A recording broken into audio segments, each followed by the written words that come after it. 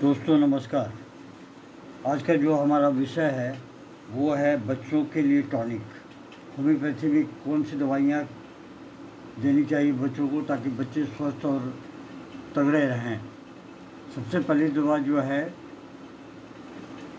वो है कलक्रिया FOSS. कलक्रिया FOSS जो है, थर्टी में और उसके साथ में कैलीफॉस थर्टी में, मैक फॉस थर्टी और कैलीम्यूर थर्टी और उसके साथ में लेसी थी।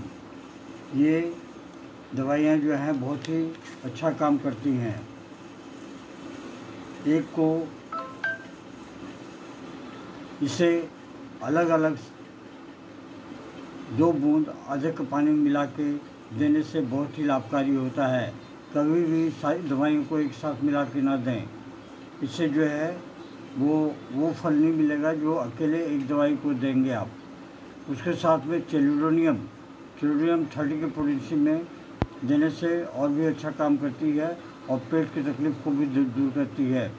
उसके साथ में एविना सटाइवा थर्टी के पोटेंसी में या फिर अल्फ़ा अल्फ़ा थर्टी के पोटेंसी में दो दो बूंद आधे कप पानी मिला के दें। निष्ठुर निष्ठुर तथा बदतमीज बच्चों को कभी कभी नक्स भूमिका टू हंड्रेड की पोटेंसी में तीन दिन के बाद में एक बार दें। और सल्फ़र थर्टी थर्टी की पोटेंसी में इसे भी तीन दिन के बाद बाद एक बार दें। याद रहे कि दोनों दवाई को अलग अलग देना है, कभी भी दोनों दवाई को मिला के एक साथ न दें।